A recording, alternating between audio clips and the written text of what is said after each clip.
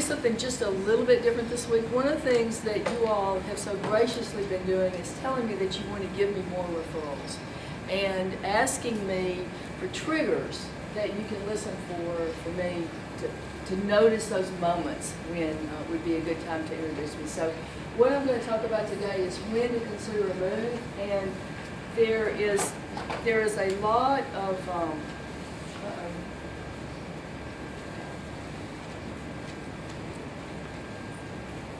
there, there's a, always a lot going on for the people around you, and one of the things to focus on is exactly when those could be um, times to consider a housing change.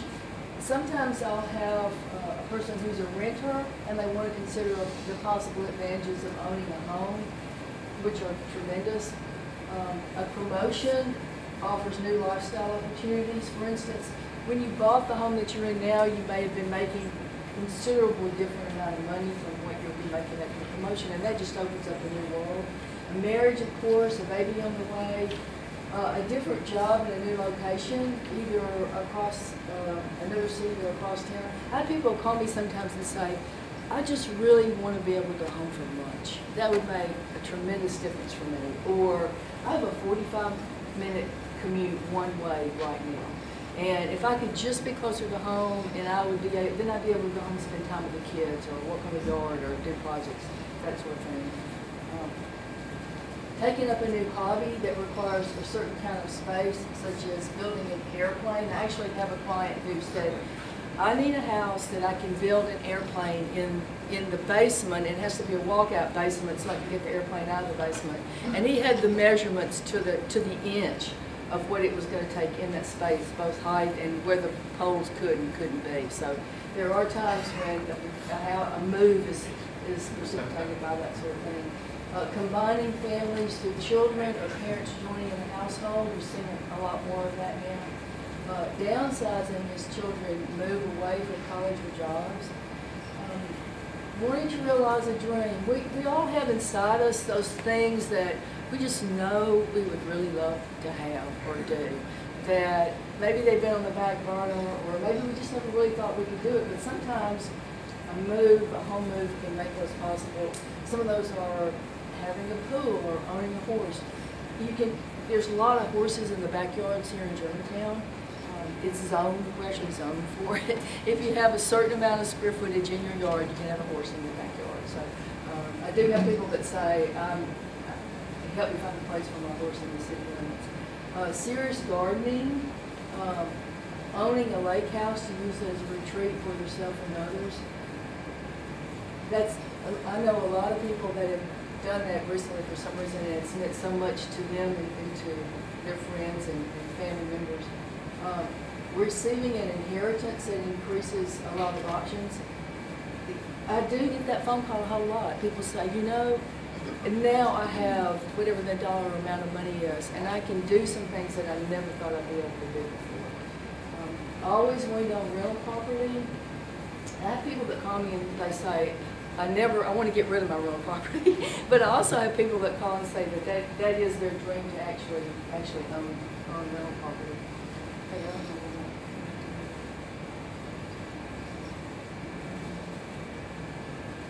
Christina want to do?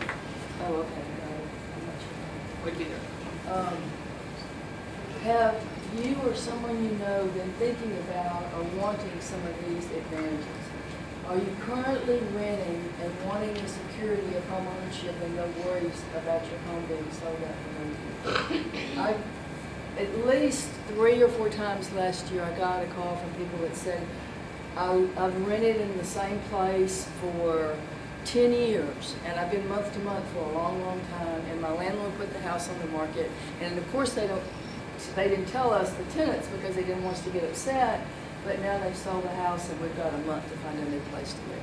So actually owning your own home is a, it's a, it's a big security. Uh, investment opportunity, Purchasing a home in an appreciating area has traditionally been one of the safest long-term investments a person can make. And in a changing market, um, for both rentals and primary residences, a look at the return on investment can really be enlightening. We tend to move into our homes a lot of times and just sort of sit there. It's like, like we keep our homeowner's insurance. I had the same homeowner's insurance on my house, I don't know how long, and I didn't realize the rates had crept up until I talked to Robert and I was amazed at what a difference he made for me in my homeowner's insurance. And we do the same things with our houses. We sit there and we don't realize how much equity we've got in the home. We, we don't realize that there are a whole lot of opportunities around us where we might could take our money and invest it and accomplish more of the lifestyle that we want and also have a better investment. Uh, taking advantage of particularly low interest rates. Uh, right now, we have some great interest rates. And these help us get started with the home purchase. They help significantly lower monthly outlay. Um, I'm working with some people this weekend, and they thought they had a wonderful interest rate. It was five and a quarter. They were really happy with it. And they're only going to be in Memphis for two more years. They found out, Marcus, we know about this, that they could get an adjustable rate mortgage for 2.9%.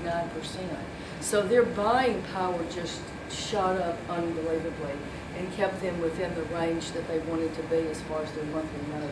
And a lot of times just sitting down and looking at the opportunities is, is life-changing because you don't really know what's out there until you take the time to consider all the different details of, of what a move could be.